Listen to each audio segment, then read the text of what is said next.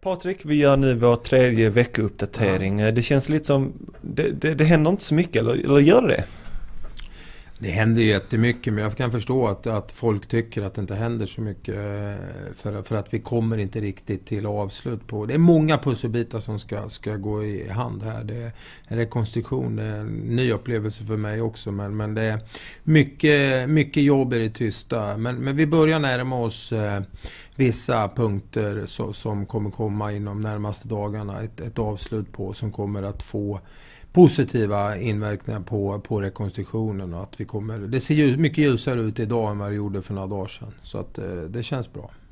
Är det Hugo vi snackar om nu eller är det annat också?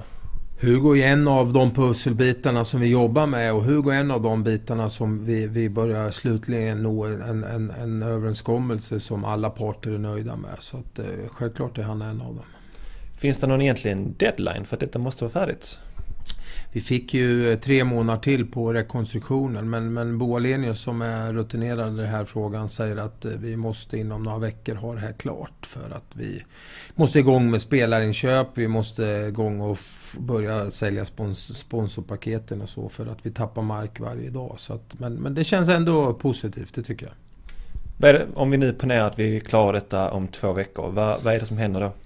Då eh, kommer vi slå på stora trumman och, och, presentera lite nya spelare. Vi kommer att gå ut eh, bland sponsorer och, och biljettköpare, alltså privatpersoner och eh, göra en ganska stor kampanj att, att nu är det dags att teckna för, för nästa års arrangemang som kommer och då är det jätteviktigt att Malmö-publiken ställer upp och så, så, att vi inte tappar mark den vägen. För att vi vill inte hamna i den här situationen en gång till.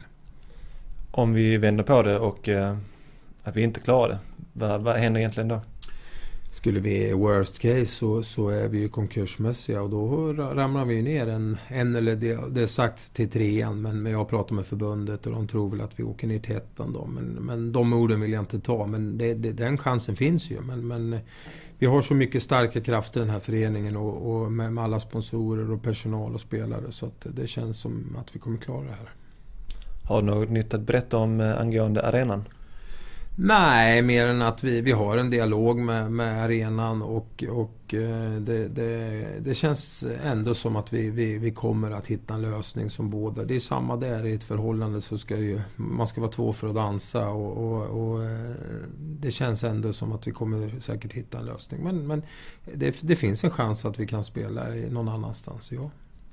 Det pratas om nya spelare såsom Jens Olsson, Johan Björk, förläng, förlängning på Alvarez. Är det, har vi något nytt där eller ett dödläge?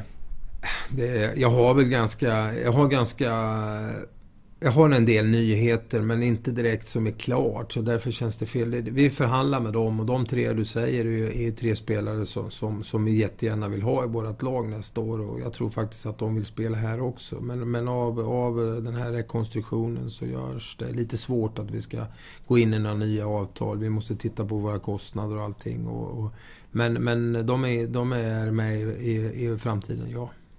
Går det att hålla någonting hemligt egentligen i dessa tider? Alltså finns det spelare som vi eller alla andra inte vet om? Det är bara du. Ja, det finns spelare som vi diskuterar med som inte har kommit upp eh, faktiskt på, på någon av, av eh, de här hockeybloggar och allting. Så att, eh, det är väl kul att det finns några, några namn som inte är uppe. Men, men Eh, Eh, vi kommer nog inte se någon ny Linus Klasen i, Malmö Redhawks nästa år. Det tror jag inte. I den digniteten som, som han har varit. Men vi kommer se ett lag som, som vi kommer vara stolta över och kommer att, att spela en bra hockey nästa år. Det är jag helt övertygad om. Nu eh, kommer det långhelg. Är det skönt eller är det helt olägligt? Det är väl skönt för de som får vara lediga. Det är väl underbart med, med en lång helg. Men eh, jag ska väl inte vara ledig. Det tror jag inte. Jag är tillgänglig dygnet runt i stort sett. Men, men imorgon blir det väl kanske lite lugnare. Det är ju ändå en röd dag. Och alla andra eh, som jag jobbar med brukar ta ledigt. Men, men fredag jobbar vi och sen lördag... Jag, jag jobbar i stort sett varje dag. Så, att, så är det.